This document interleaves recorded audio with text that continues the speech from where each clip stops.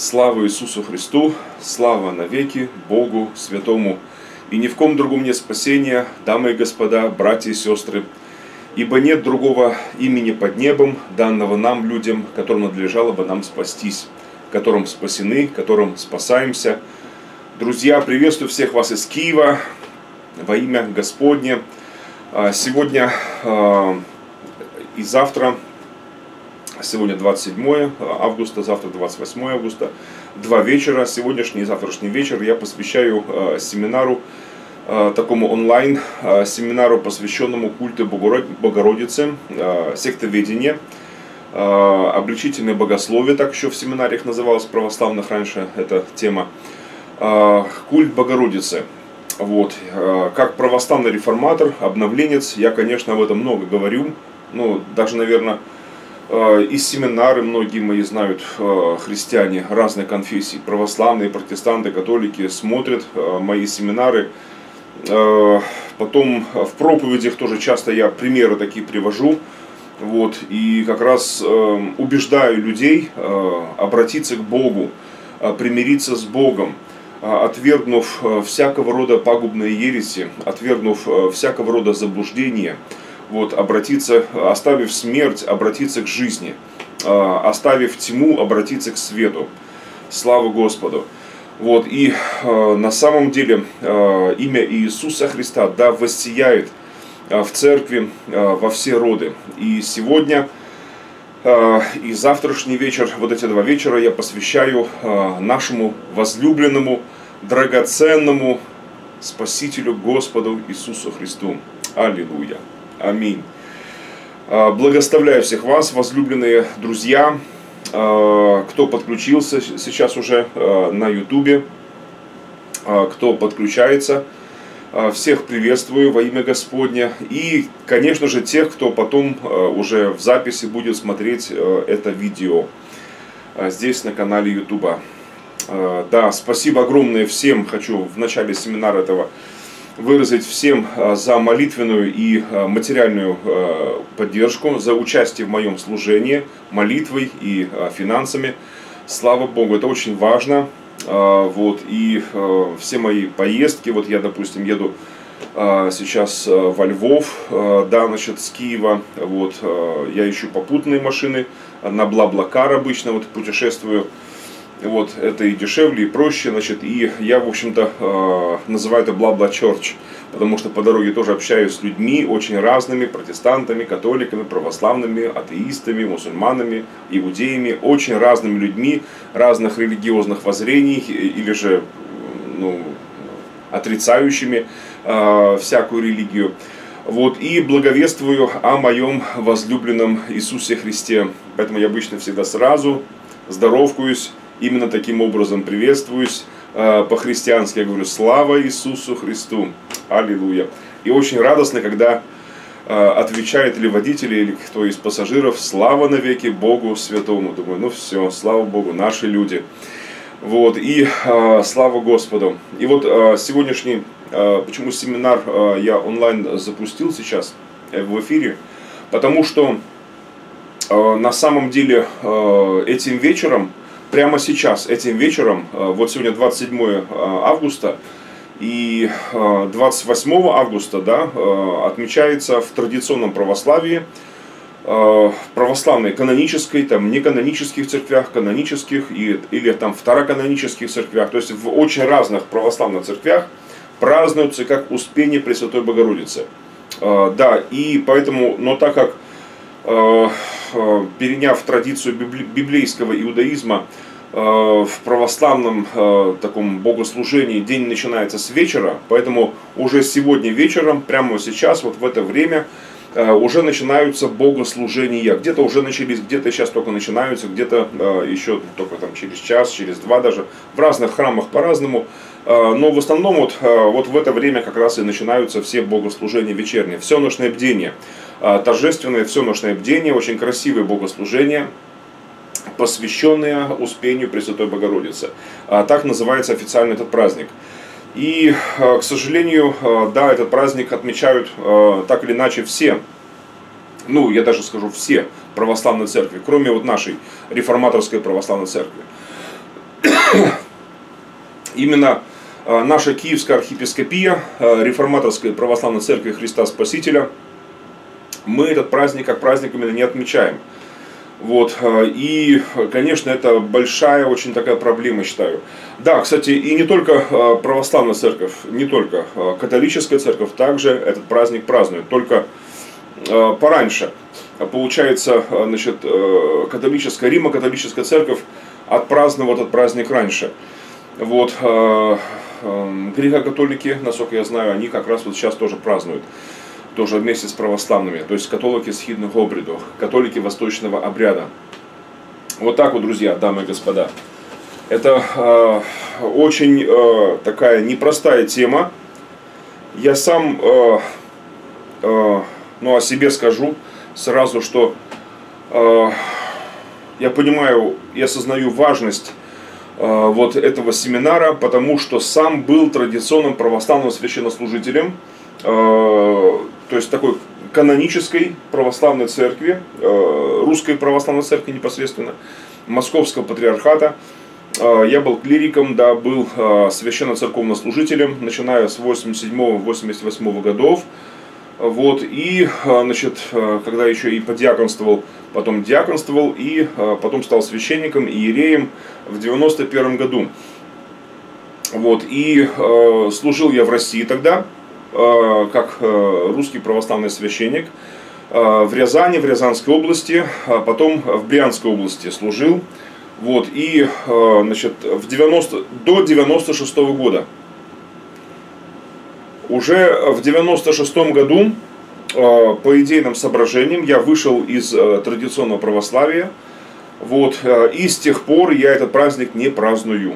Ну, кстати, вот почему по идейным соображениям одно из э, самых главных таких, один из самых главных моментов, а почему я вышел, это несогласие, категоричное мое несогласие с многобожием во всех его проявлениях. То есть я, как традиционно тогда православный священник, я до 96 -го года я молился и Богородице, и другим умершим, то есть Марии, Матери Иисуса Христа, а, да, значит, называю ее Богородицей, Царицей Небесной и прочее. Вот, и, а, конечно, сегодня я осознаю, что а, культ Богородицы ничего общего не имеет с исторической Марией, с настоящей Марией, Матерью Господа Иисуса Христа. Вот этот культ, он ничего общего с христианством не имеет вообще даже. Больше того, этот культ возник задолго до возникновения христианства, задолго до нашей эры. А, просто потом был имплантирован, как бы перешел в христианство а, и под видом а, вот христианского культа существует до сегодняшнего дня. Вот, и, конечно, это большая беда, ведь враг рода человеческого пытается отвлечь людей, миллионы людей, и, к сожалению, не безуспешно, от искупителя нашего Господа Иисуса Христа. Ведь по вере нашей христианской, евангельской, библейской вере, э, апостольской вере, э, э, по-настоящему православной вере, ни в ком другом нет спасения, нет других спасителей, нет никаких других ходатаев к Богу, нет никаких посредников между Богом и человеками. Лишь один человек, Иисус Христос, Он есть ходатай, посредник Нового Завета, великий первосвященник – вот, и, конечно, э, да, э, до 96 -го года я молился э, к Богородице, молился многим умершим святым также, но, наверное, особенно, как вот и тысячи моих коллег, как и миллионы обманутых многовековой религиозной ложной пропагандой христиан, я молился и полагал, я наивно полагал, что это есть ходатай, э, ходатайца, посредница к Богу. Вот, но в 96 году я разочаровался э, в этой вере, полностью разочаровался, потому что вера евангельская привела меня к разочарованию в вере такой человеческой, вере бесовской, вере душевной, вере оккультной. То есть вера библейская разрушила всякого рода человеческие вот эти вот заблуждения. Олег подключился, да, добрый вечер, Сергей, слава Господу, приветствую тоже вас, слава Богу всех, кто подключился, а, значит, а, я понимаю, что многие еще на рабочих местах еще, и не все могут подключаться, но потом уже в записи тогда кто-то сможет посмотреть, потому что все это сохраняется на ютубе, здесь на моем канале, слава богу. Вот, и сегодня вечером, да, и завтра я собираюсь рассказывать как раз вот 6 часов вечера по, значит, киевскому времени, рассказывать о культе Богородицы. И не просто рассказывать даже, вот, молиться, молиться, действительно разрушая эти твердыни сатанинские. Потому что вот через культ Богородицы, через вообще как таковое многобожие, христианство дезориентировано. Поэтому миллионы православных христиан действительно, ну даже и христианами-то с трудом можно назвать, как правило, и не являются-то да и аминь. Но как бы мы отнеслись, если бы неуважительно относились к нашей матери? Анна пишет. Анна пишет, да. Вот поэтому, да, конечно, те, кто молятся к Марии, к матери Иисуса Христа, они относятся весьма неуважительно к ней на самом деле. Вот именно как раз вот этим почитанием, культом, они бесчестят Марию, бесчестят ее славное имя, вот самой счастливейшей среди всех женщин. Вот знаете ли, те, кто превозносит ее, те, кто молится к ней, ничего общего на самом деле не имеет с Марией. Вот и вот ваше сравнение такое, неуважительно относиться к нашей матери, знаете ли, да, интересный вопрос. Вот, ну, с точки зрения традиционных православных, я понимаю, что как раз наоборот – те, кто не молится к Марии, они как раз вот не уважают ее. Но, э, может быть, я так раньше даже, может быть, даже помыслил бы, если бы мне спросили бы, э, то да, конечно, мама все-таки это святое, да, значит. Но э, сегодня я однозначно убежден в том, что как раз наоборот, те, кто молится к Богородице, да, они бесчестят Марию, они позорят имя Марии и позорят имя действительно той, которая стала матерью нашего Господа, и которая действительно есть ну, счастливейшая, блаженнейшая среди, в женах, а, счастливейшая среди всех женщин на этой земле, как, которые когда-либо рождались вообще на этой земле. Ну, не считая, может, Евы, нашей проматери, вот, но это там ветхая, вет, ну, будем так говорить, старая Ева, да, вот, наша пра-пра-пра-прамама. Вот, значит, а здесь уже в Новом Завете Мария, матерь нашего Господа Иисуса Христа. Вот, поэтому неуважительно Э, относится именно как раз э, традиционная православная церковь. Вот этим культом, если э, культом Богородицы, который ничего общего с культом Марии, ну, самой библейской Марии, я повторяю, Анна, тоже и для вас, и для всех, кто подключился, Значит, культ Богородицы ничего общего не имеет с настоящей Марией, с, Мари, с матерью нашего Господа Иисуса Христа. Культ Богородицы и Мария, матерь Иисуса Христа, это две разные вещи. Э, это, как говорится, котлеты отдельно, мухи отдельно. Вот а нельзя их смешивать, нельзя, это, это, ну, будем так говорить, это совершенно разные вещи, абсолютно разные вещи. Вот, и э, те, кто считают, э, вообще называют Марию Богородицей, Царицей Небесной, они бесчестят Марию, на самом деле. Ее святое славное имя, нашей сестры в Господе, вот, э, блаженнейшей среди всех женщин вообще, самой счастливой из всех женщин. Вот так вот, слава Богу. И, а, значит, а, культ Богородицы, ну, я, может быть, так галопом по Европам, конечно, а, коротко хочется рассказать вот в двух э, вечерах, сегодняшний и завтрашний вечер. Вот, выделил для этого, значит, но если вкратце, кстати, я проводил семинар однажды, ну, не, даже не семинар, а такой, как бы, получался тоже онлайн, онлайн такой, общение. И один из священников православных, он, кстати, с Беларуси, по-моему, но он трудится сейчас в США, в Америке, в Орегоне, а так он, по-моему, белорус, по-моему. Но неважно, по крайней мере, он служил э, в русской православной церкви тоже, э, в России, а теперь он в США трудится как священник православный. И вот э, он, конечно, был священник, э, ну, грамотный, да, э, безусловно, грамотный, начитанный, э, академическое образование прекрасное у него, но, с другой стороны, я был потрясен невежеством этого священника. Элементарно, он вещи не знал что, оказывается, он был чрезвычайно удивлен, и в эфире это было видно, очевидно, вот, что э, он был просто удивлен, э, что, оказывается, э, ну, моими словами, и даже возмущен и удивлен, что культ Богородицы, он был задолго до нашей эры, задолго до нашей эры. Инна, да, шалом, Сережа, шалом, Иночка, шалом, кто подключился, все. Вот, и супругу свою приветствую, и детишек наших, и внуков, и котов всех наших приветствую тоже. Слава Богу. Вот, и по поводу культа Богородицы, в Берлине я был, значит, Пергамон музеем, музей Пергамы Востока. Вот, если кто в Берлине будет или бывает, я рекомендую. Наши туристы часто обходят стороной этот музей, а жаль, зря очень даже зря. Особенно для православных христиан. Я считаю, что это очень важный даже поход э, туда надо будет сделать.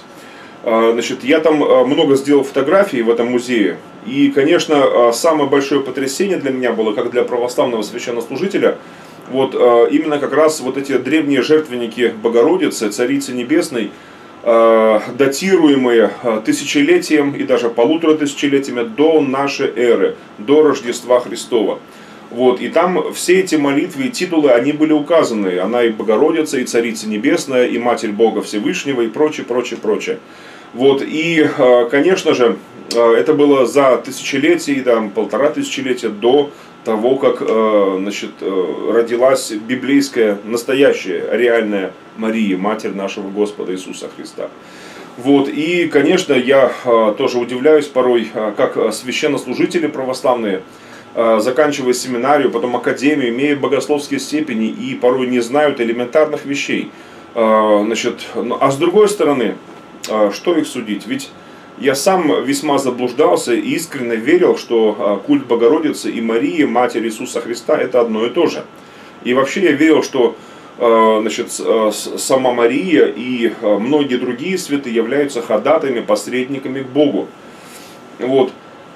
Но слава Богу, что э, я э, отрекся от э, той веры, отрекся от э, этих заблуждений, ересей, и ныне помогаю э, миллионам э, православных, католиков, протестантов освобождаться от этих ересей и обращаться к вере евангельской, к вере христианской, к вере апостольской и жить э, на самом деле во славу Божью, славить имя Господа Иисуса Христа. Дамы и господа, и по поводу, э, я вкратце такой обзор сейчас делаю сегодняшним вечером, э, культа Богородицы. Э, значит, исторически культ Богородицы связан с Вавилонским столпотворением. Да, там в Вавилоне Семирамида с сыном Тамузом на руках или Фамузой на руках.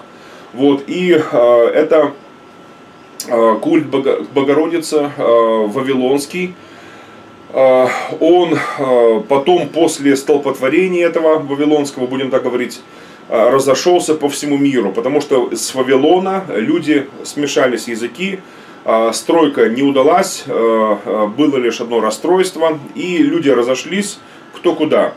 Вот, и они разнесли с собой вот этот культ. И археология это полностью подтверждает вот как раз вот подобное вот мнение, да. Хенри пишет, да, Брат Сергей, слава Иисусу Христу за вас и ваше служение. Часто слушаю вас. Да, спасибо, э, Генри, спасибо. Если какие вопросы будут э, или уточнения, то, пожалуйста, пишите, хорошо? А, может быть, даже лучше не в этих сообщениях, а вот э, комментарии, которые под именно видео, потому что тогда они сразу будут там писаться. Или, а еще, смотрите, если вопросы у вас возникнут какие-то, да, вы пишите в комментариях не вот, вот эти сообщения быстрые, да, какие, Э, которые потом не открываются сразу. А вот э, под самим видео пишите, хорошо? Потому что э, тогда эти ваши вопросы, они будут всем видны, во-первых. Значит, во-вторых, я могу на них отвечать и использовать даже вот эти вопросы, ответы в своих лекциях, в своих семинарах. Хорошо? Потому что и здесь, в Киеве, и во Львове я планирую как раз семинары этому посвятить, очень важной теме такой. Вот. И по поводу значит, э, вавилонского столпотворения сказал, да, и народы, разошедшиеся с Вавилонии, разнесли это нечестие. А, то есть, э, э, это была попытка некоторых, культ Богородицы Семирамида, да, сыном Тамуза на руках, это был, была попытка отвлечь значит, Немрод, библейский Немрод, да, это была попытка, это был прообраз Антихриста, первый такой мощный прообраз Антихриста, который э, действительно попытался отвлечь людей от поклонения, от поклонения истинному Богу. А Nimrod, э, чем он прославился в истории, и вот согласно еврейской энциклопедии и многим другим энциклопедиям, э, это человек, который попытался э, отвлечь людей от Бога, увести людей от Бога. Да, Олег пишет, да, считаю, что христианин это прежде всего рожден свыше, можно всю жизнь ходить в церковь, креститься, причащаться и так далее. Если человек не рожден свыше, то это все обряды. Да, совершенно верно, брат дорогой. Вот почему культ Богородицы и опасен а, что моментом возрождения а, архиважным, а, знаете ли, таким важнейшим элементом возрождения является личность Иисуса Христа как своего личного Спасителя Господа, когда человек принимает Его. Вот, но а культ Богородицы и прочих умерших святых э, и ангелов, как якобы посредников к Богу, чем, какую он подлую работу делает этот культ? Что он отвлекает людей от искупителя Господа. Иисус становится весьма далеким, Бог еще дальше. И получается, что э, до Бога там, значит, там далеко, э, высоко, высоко и прочее. И э, получается, библейский путь спасения закрывается. Э, значит, получается, что человек а, значит, а, конечно же, Бог а, приходит в судьбы людей. Возрождение совершается в любой конфессии, в любой деноминации. Но в православии традиционном совершается не благодаря церкви, да, а вопреки, к сожалению, из-за культа Богородицы и многобожия как такового вообще в целом. Вот, и Олег пишет еще здесь, рожденному свыше открывается истина, и такой человек никогда не будет поклоняться Богородице. Слава Богу, да, но а, не совсем согласен с вами, конечно, Олег, потому что из опыта жизни и своей личной, и из опыта служения очень многих христианских служителей я знаю, что это не совсем так. Вы не совсем правы. Хотя в 90% вот ваших словах сейчас действительно правда, но есть и не совсем, не вся правда, не вся правда. Я вам расскажу, ну, я не буду говорить даже какие-то там личные истории, э, или там малоизвестные вам истории. Я расскажу, наверное, одну из самых известных для всех русскоязычных христиан истории э, наших дней, современная, современная история. Есть такой служитель христианский, христианин, да, христианский служитель, его зовут Ульф, Ульф Экман.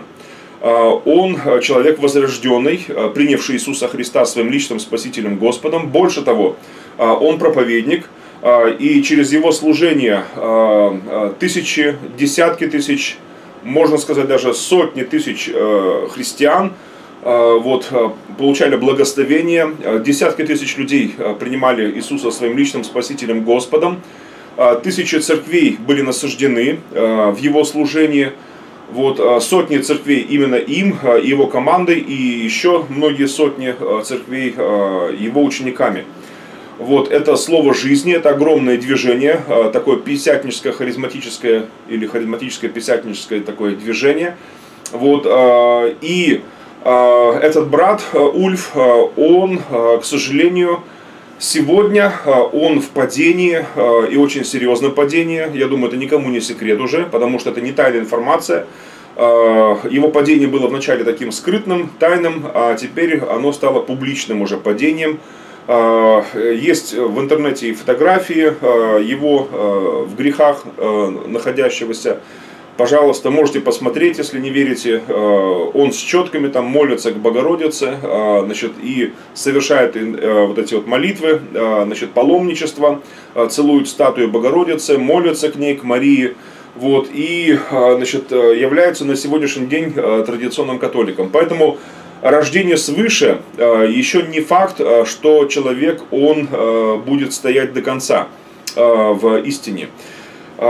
Спасение еще не гарантия от падения. Вот в чем дело. И таких, как Ульф, я знаю сотни. К сожалению, я знаю сотни примеров. Только мало известно таких. Я лично знаю таких людей, вчерашних баптистов, адвентистов, харизматов, писятников, лютеран, которые сегодня лоб расшибают, так грубо говоря, молятся к Богородице, молятся к святым, молятся к ангелам, архангелам там и прочие мерзости творят. А, целуют кресты, мощи, иконы. А, Ульф Экман совершал одно из паломничеств последних, там он целовал мощи святых, эти кости. человек находится в глубочайшем моральном духовном падении. Молюсь за Ульфа, молюсь за всех падших и молюсь за их покаяние. Бог силен восстановить заблудших. Поэтому возрождение не является гарантией предохранением от падения, ни в коем разе. А, вы пишете правду, Олег, но не всю правду. А, вся, вся правда очень горькая. Шалом, драгоценный света пишет. Олег пишет, тогда вопрос, был ли он изначально возрожденным? Печально, если так, Олег пишет, да.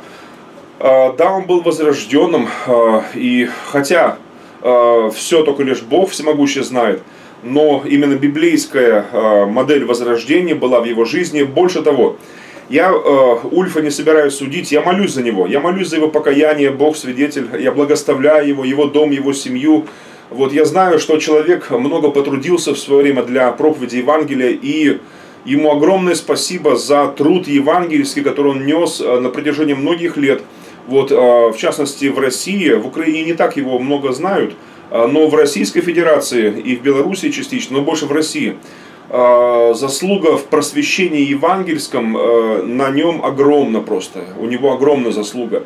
Вот, и я без всякого преувеличения скажу, что миллионы россиян так или иначе приобщились к христианству, ко Христу, слышали благую весть об Иисусе Христе благодаря Его служению, благодаря Его деятельности. Поэтому в Украине не так это актуально, может быть, э, его имя мало известно здесь, э, не так известно, одним словом, не так оно актуально, как в России.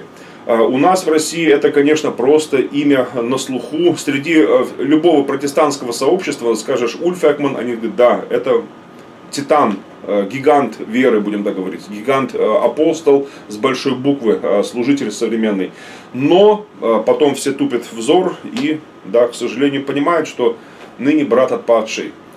Вот, э, больше того, э, брат Олег и э, все, все, все, кто подключился, я не хочу, я не говорю, что я сужу там, значит, Ульфа, нет, ни в коем разе, я еще раз говорю, я его благоставляю, значит, там, и молюсь за его покаяние.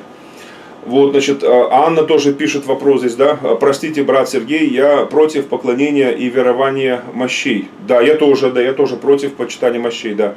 А, но касаемо нашей сегодняшней а, темы, неужели многие любящие Господа, такие как, например, Серафим Саровский, заблуждались? Я правда хочу а, понять. Серафим Саровский, да, конечно, заблуждений масса было у него, в частности, культ Богородицы, культ святых, мощи и прочее, иконопочитание. Вот я еще раз хочу повторить, что спасение, духовное возрождение – это не гарантия, значит, ну, как бы, того, что человек не упадет. А, не гарантии ни в коем разе. А, и больше того, человек даже возрожденный будучи, да, а, чудеса, знамения совершаются, но может попасть в западню врага. И я даже не хочу говорить сейчас, даже не, не по поводу Серафима Саровского, я хочу даже еще выше сказать, выше сказать, чем Серафим Саровский, намного выше. Апостола любви Иоанна, да, да, да, Иоанна Богослова. Вспомним книгу Откровений, где Иоанн пишет о своих падениях. Дважды он пал, значит, и написал об этом четко и честно, не для того, чтобы мы значит, позорили его имя, и не для того, чтобы мы судили его сейчас и говорили, о, Иоанн, вот, мол, седина в бороду, без в ребро тебе. Нет, нет, нет, нет, не для этого а написано было для того, чтобы мы не грешили, чтобы мы не а, повторяли ошибок, какие он совершил. А, и две ошибки эти, они описаны в книге Откровений, в самом конце книги Откровений, когда он поклонился ангелу, и слава Богу, ангел был правильный, хороший, адекватный, Божий, вот, из тех двух третий, которые с Богом, э, не отпадшие. Если бы отпадшие, конечно, была бы история другая. Он сказал бы, о, Иоанн, молодец, поклоняйся, конечно же, поклонись мне. Вот, не, не. Это был хороший, правильный ангел, и э, он сказал Иоанну, э, не мне, говорит, Богу поклонись, Богу поклонись. Потом проходит немного времени, Иоанн пишет снова о своем падении, и он снова поклонился пред ангелом, но там э, в оригинальном тексте там имеется в виду не перед ангелом самим, даже, это, даже в русском переводе синодальном там курсивом набрано, потому что в оригинале этого нету. В оригинальном тексте говорится, как бы через ангела к Богу хотел поклониться, то есть посредством ангела, как образа, на первый образ к Богу поклониться, через ангела. Но даже это поклонение было его падением. И ангел сказал, нет, нет, не мне, Богу поклонись. Богу поклонись. И вот э, то, что в э, Откровении написано Иоанном, э, это нам всем наука. Э, и Иоанн написал это не для позора своего, а для славы Божьей и для нашей науки. Э, Олег пишет, да, сатана таким образом работает и сбивает с пути, это точно. Если что-то не от Бога, то от сатаны третьего не дано. Да, мир, э, знаете ли, да, вот жизнь и смерть, э, Бог говорит, жизнь и смерть, но Господь рекомендует всегда, выбери жизнь, зачем тебе помирать, выбери жизнь. Э, Света Дьяченко пишет, хочется верить, что через эту ситуацию с Ульфом Бог может начать пробуждение, обратив его к истине. Аминь, аминь. Я тоже в это верю. Э, у католиков Бог силен э, проклятие превратить в благословение. Аминь, аминь, аминь, аминь. И то же самое я, когда встречаю таких многих э, вчерашних протестантов, вчерашних евангельских верующих, которые в православных храмах сегодня молятся к Богородице, к святым, я понимаю, что для них это падение, но они, будучи возрожденными свыше людьми, принявшими жертву Христа, для которых Иисус Христос является их личным Спасителем Господом, они, для них это падение, э, моральное, духовное падение. Вот, но э, для э, тех церквей православных, куда они упали, да, для, для православных церквей традиционных, это луч света в темном царстве. Это, знаете ли, как бы выше, то есть это выше, высшее достижение. Получается, для возрожденных свыше людей это падение, но для традиционного православия это свет в окошке. А, то же самое для Ульфа это падение, но для традиционных католиков это высочайшее достижение, высочайшая а, как бы, ну, как бы а, духовная вершина такой, знаете ли, как вот Эверест какой-то такой. Вот, и я верю, что, конечно же, Бог может все даже зло в добро обращать. Любящим Господа, призванным по Его изволению, все содействует ко благу. Слава Богу. Вот. А католическое э, харизматическое движение, да, э, существует давно уже, еще 60-х э, годов. Вот, значит, с конца 60-х, начала 70-х годов. Вот, и э, охватывает э, десятки миллионов э, верующих католиков, да, многие из которых стали такими евангельскими, такими верующими на самом деле.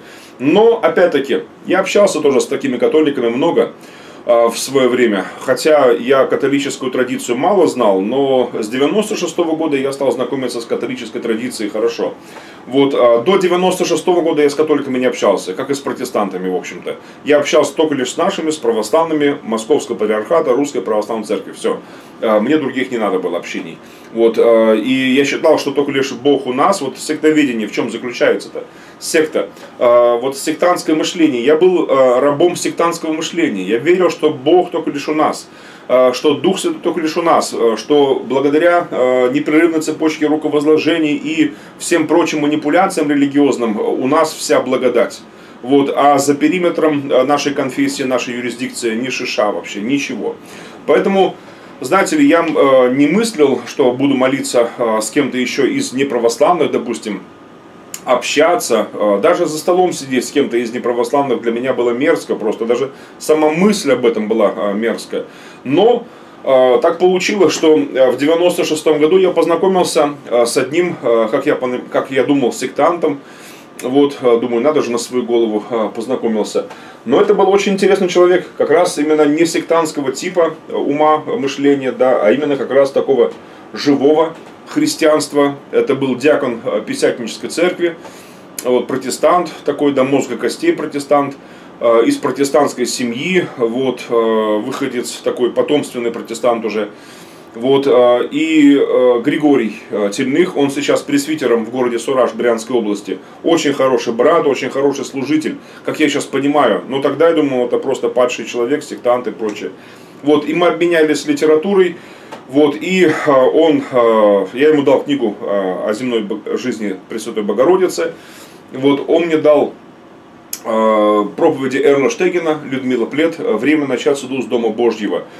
И вот действительно вот с такого общения, вот свидетельств таких, знаете ли, живых, живой веры, потому что дух дышит где хочет. И действительно Э, вот эти стены межконфессиональные, межденоминационные стены, они, э, ну, они рушатся, когда рушится самым сильным оружием, которое есть любовь.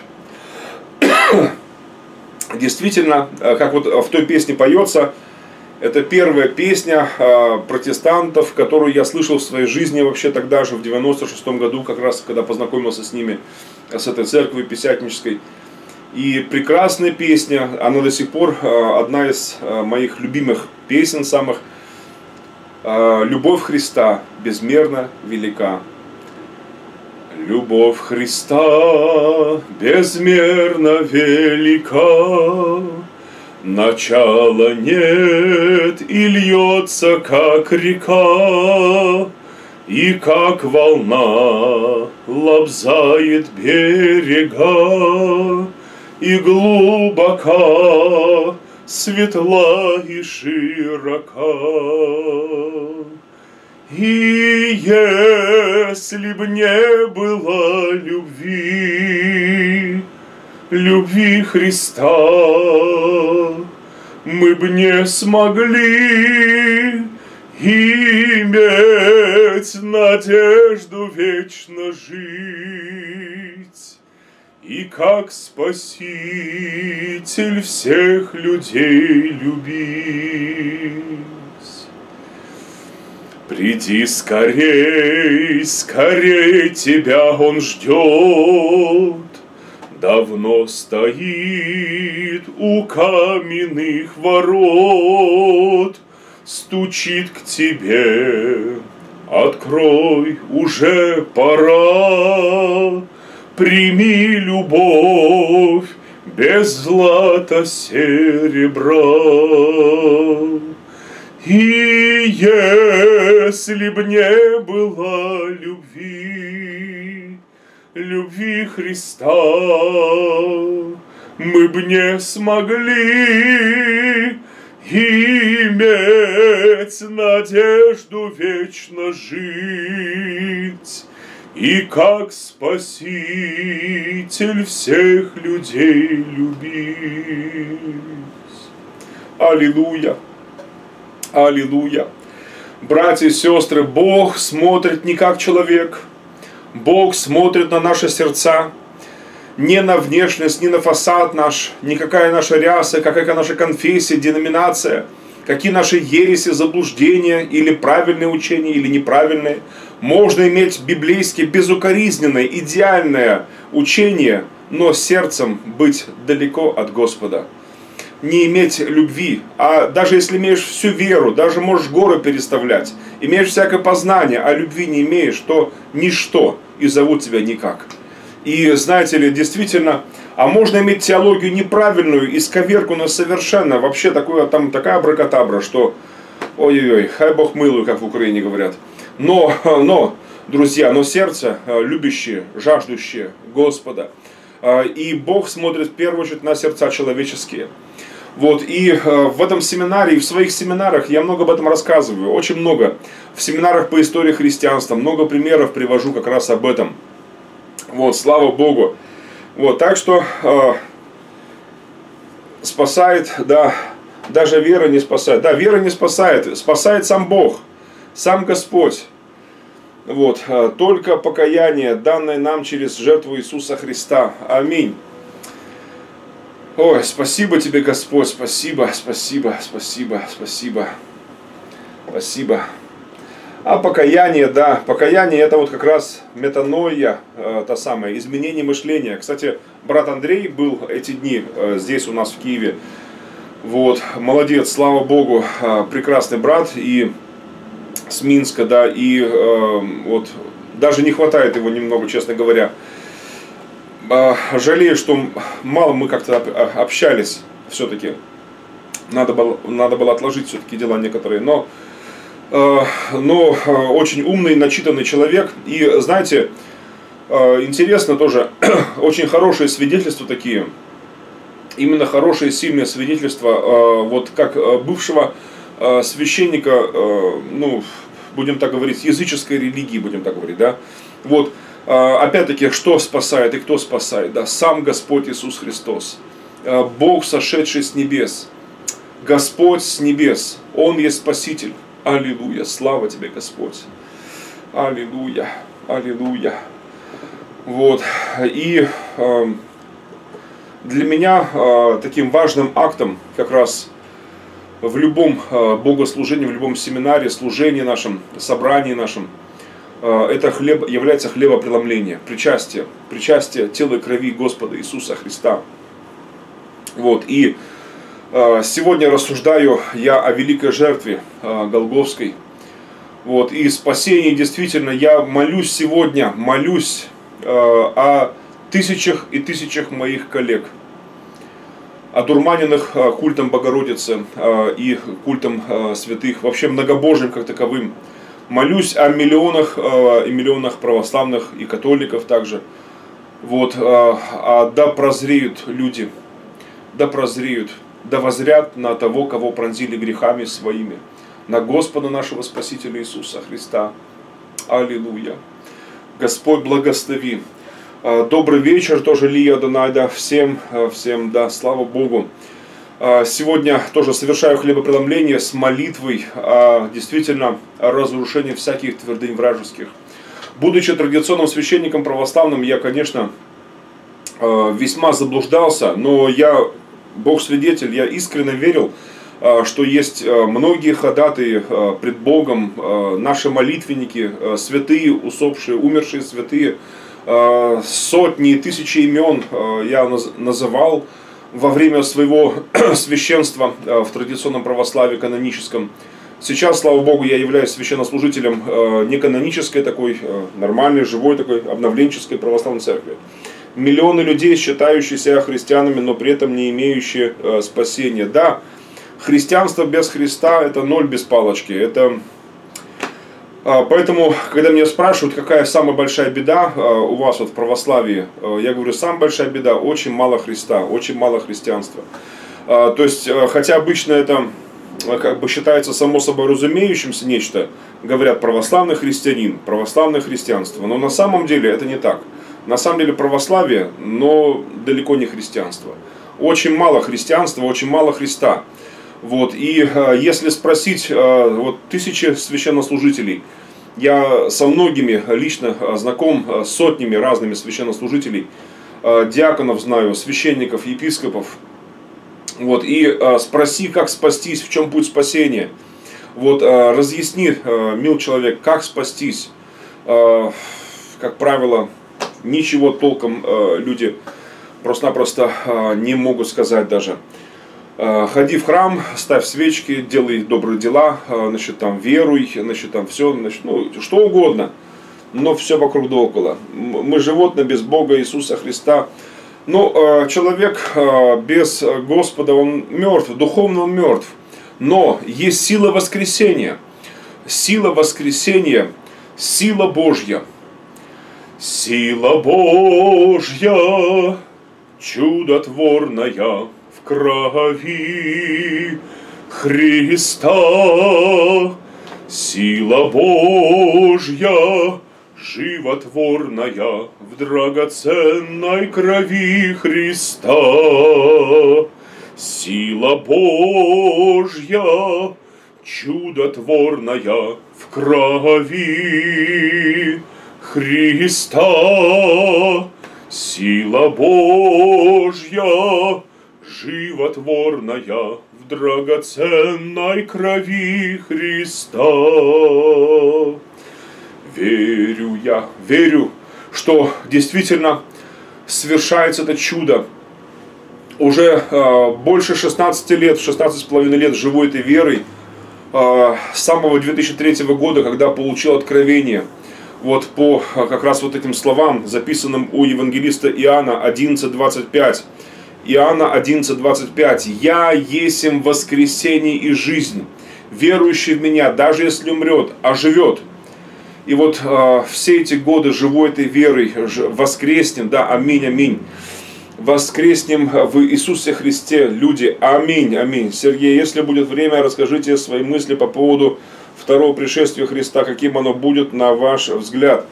А, я об этом рассказываю а, в своей церкви часто. А, есть записи из богослужений, правда, они, надо их искать. Я сам, честно говоря, даже не знаю сейчас. По эсхатологии я много говорю, в общем-то, вот у себя в церкви.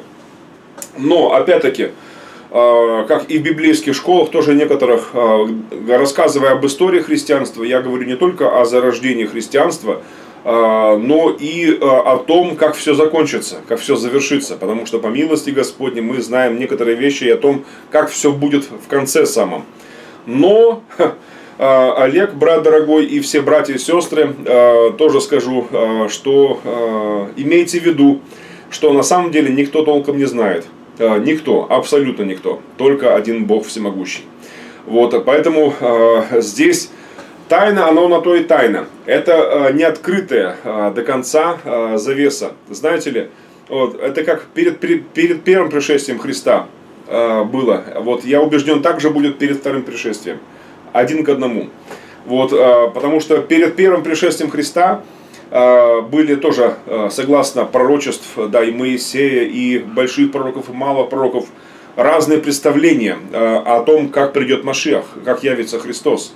И если бы вы оказались бы, допустим, ну, лет там за несколько лет до рождения Христа, даже если там, ну, к примеру, за год там, до рождения Иисуса, и если бы вы пообщались, допустим, с религиозными, набожными, там, священнослужителями, там, учителями, а, то вы, наверное, удивились бы разным вариантам ответов. Если бы вы спросили, как придет Машиах, как, как явится Христос, вы удивились бы просто очень различным представлениям, которые были в еврейском народе. И все эти школы, все эти мнения строго опирались на Писание. Они строго опирались на тексты Торы, на тексты пророков, больших и малых пророчеств. Вот, также получается, и вот самое интересное, когда пришел Христос, он все карты спутал всем этим богословом, потому что ни одна, ни одна из этих школ до конца не оказалась правой. Вот в чем дело. И я убежден, что также ждет нас разочарование и при втором пришествии Господа. Потому что можно все расписать. Нет, я верю, конечно, что в Новом Завете более детально кое-что высказано. Мне очень нравится э, значит, э, мнение одного из наших современников э, по поводу эсхатологии. Я даже лучше пока ничего еще не, не видел, честно говоря. Это семинары, значит, значит, американский пастор этот, американский пастор с Техаса, евреи за Иисуса, э, не, не э, ой, это, извиняюсь, перепутал, э, христиане за Израиль, христиане, миссия христиане за Израиль. Вот его, как же его зовут, я забыл. Вот семинары, потрясающие семинары как раз об, вот, о втором пришествии, об эсхатологии. По его книгам еще фильмы сняты эти вот такие известные там о восхищении церкви, апокалипсис, там еще другие. Напомните, как же зовут его? Нин, напомни, Нин. Если еще не отключилась. А. Он у меня в друзьях есть на Фейсбуке. Я подписан на его странице там. Ну ладно. Вот а, есть очень разное, да, мнение, скажу, а, из современных теологов, а, протестантов тоже очень различные. У адвентистов, у баптистов, у пятидесятников, у харизматов – есть очень разные воззрения. В православной церкви, традиции православной тоже есть разные воззрения. Ну, не так богатые, как у протестантов, конечно, но тоже есть разные воззрения. Допустим, ранние э, отцы верили, что будет э, миллениум, тысячелетнее царство Христа на земле. Более поздние и современные православные теологи утверждают, что уже как бы уже все, уже тысячелетнее царство уже началось уже с момента воцарения, да, значит, Господа, значит, да, значит, и вот история вся церкви, это история тысячелетнего царства а, Христова. Ну, это как бы такие. Очень разные мнения на самом деле по этому поводу есть. Вот. Вот самое главное, а, я скажу одно, что Господь близок. Ум Божий нечеловеческий мы не вмещаем. Но есть на самом деле вещи, которые мы не можем вместить. Один проповедник сказал так, у меня дома рыбки есть, я их кормлю регулярно они, надеюсь, ко мне уже тоже привыкли, как бы я к ним привык. И вот я им посыпаю корм, они смотрят на меня, значит, там как-то они по-своему как-то понимают меня. Но, безусловно, конечно, их понимание весьма ограничено на самом-то деле. Вот, значит, э, и вот а мы намного меньше, чем эти рыбки. Э, Бог намного больше, чем этот пастор, э, который кормит этих рыбок. Вот, и Но, по милости Господней, я знаю одно, что Бог во Христе примирил с собой мир, не вменяя людям преступлений их, и дал нам слово примирения. При втором пришествии и потом при воцарении Господа все будет совсем не так, как люди представляют себе. Вот, элементы некоторые, да, сейчас кажущиеся несовместимыми, они все совместятся. Некоторые говорят, восхищение будет церкви э, до э, скорби, потом некоторые говорят во время скорби, некоторые говорят после э, дней скорби, тех дней. Вот, я дерзаю утверждать э, четвертое мнение, что правы и те, и те, и те. Хотя по-человечески это э, не налазит на нас, но я считаю, что в чем-то правы все эти три мнения. Потому что из Библии, из Слова Божьего я вижу элементы и одного, и второго, и третьего. И при том очень четкие элементы. Но они не совпадают в нашем разуме, не складываются. Но в Божьем, я убежден, все три момента складываются. Поэтому я расслабился в этом отношении. Я знаю, а, что а, я с Господом, Он во мне, я в Нем.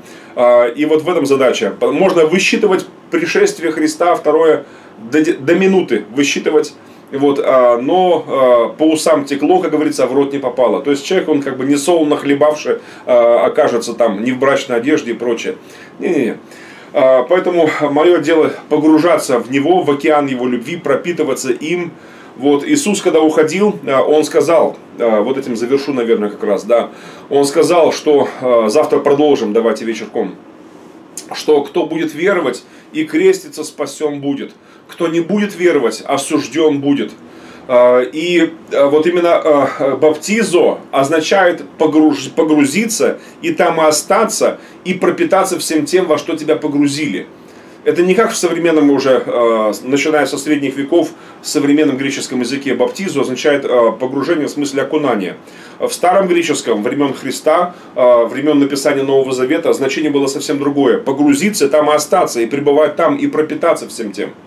То есть слова Иисуса сегодня можно э, так э, перевести э, для современного слушателя, расшифровать их, разъяснить, что кто уверует в меня и погрузится в меня, пропитываясь мною, будет спасен. А кто не уверует. Но Бог хочет, чтобы весь урожай был в закромах чтобы злану до столу, чтобы э, действительно на, на поле не погиб урожай. Бог хочет, чтобы все люди спаслись и достигли познания истины. Ибо един Бог и един посредник. Это не Мария, при всем уважении к светлой памяти ее. Это не э, апостолы, не пророки, не учителя, никто, никто, никто абсолютно. Это один человек Иисус Христос. Все. Один за всех и все за одного. Аминь. Поэтому, друзья, совершая хлебопреломление сейчас, я э, сегодня э, ходил здесь вот на рынок, купил снова лепешки восточные эти, вот, и совершаю хлебопреломление с превеликим удовольствием, погружаюсь в Господа моего возлюбленного моего, рассуждаю о теле и крови Господа Иисуса Христа. Слава тебе, Господь! Благослови, Боже! Благословен Ты, Царь Вселенной, давший нам хлеб из земли и давший нам хлеб с небес Иисуса Христа, хлеб жизни нашей. Аллилуйя. Доколе Он придет, я буду совершать это. Доколе Он придет, мы вернется, мы совершаем всей церковью это. Ежедневно преломляя хлеб по домам. Благодарим Бога Всемогущего. Как было в первой церкви, так вот и в последней будет так же абсолютно. Я в этом глубоко убежден что, как вот Ральф Небер писал еще другие многие отцы, а, современные христианские, такие общехристианские, что действительно, как было вот в Первоапостольской церкви, так и будет и перед а, вторым пришествием, перед возвращением. И дух, и невеста будут одно и то же будут э, взывать об одном и том же. Не, не порознь, никто в лес, кто по дрова, не как лебедь, рак и щука. Нет, нет, нет, все, закончилось то время. Э, нынешнее, э, прежнее время умолило, да, э, но нынешнее возвеличит церковь. И э, сегодня и дух, и невеста договорят одно и то же. Одно только на уме. Гряди, Господи Иисусе. Возвращайся, возлюбленный наш, прекрасный наш Господь Иисус Христос. Слава Тебе, Господь. Спасибо Тебе, Господь. Спасибо, спасибо, спасибо. И сегодня возьмите хлеба. Если у вас нет сока э, виноградного, просто, даже просто воды налейте себе. Но самое главное, или сухарики какие-то, самое главное не вещество даже, причастие, а вот наше рассуждение о теле крови Иисуса. Я несколько раз здесь совершал, просто у меня была бутылка Кока-Колы, было, значит, там, вот, э, сухари, и все, совершал причастие. Причастие, это вот, оно совершается здесь, в уме нашем и в сердце нашем. Э, не просто ртами, а желудками нашими. То, что входит в нас, оно не может нас осквернить, тем более осветить. А что освещает нас или оскверняет? Наше размышление из сердца исходит, из разума нашего исходит что? Самое великое, что освещает нас, это рассуждение о теле крови Господа Иисуса Христа. Я спасен благодаря крови Иисуса Христа. Благодаря жертве Голговской, моего Спасителя возлюбленного Иисуса. Слава тебе, Господь! Слава тебе, Господь!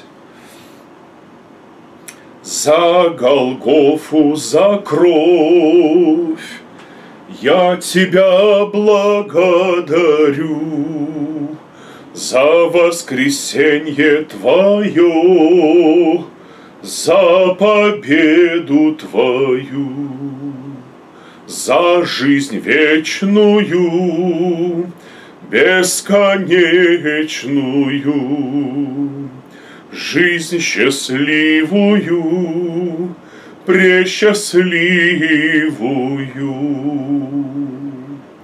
Благодарю Тебя, Отец, Папочка мой, Бог мой и Иегова, Бог Авраама, Исаака, Якова, Аллилуйя, Творец неба и земли, всего видимого и невидимого. Благодарю Тебя, Иисус Христос, Сын Божий, Царь мой, Бог мой, Аллилуйя, Господь мой и Спаситель мой, друг мой, Царь мой, Аллилуйя, Аллилуйя, брат мой, возлюбленный, Аллилуйя. Благодарю, о Дух Святой, Ты всегда со мной, утешитель мой. Аллилуйя, Царю Небесный, утешителю, Дух истины, Аллилуйя. За все я благодарю, я Тебя, Господь, люблю. Я Тебя, мой Бог, люблю, и за все благодарю.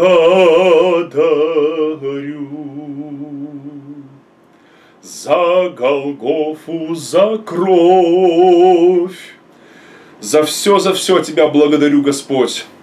Я спасен, исцелен, благословлен всеми Твоими благословениями небес через кровь божественную Агнца Твоего, моего Спасителя Господа Иисуса Христа, тело Иисуса Христа.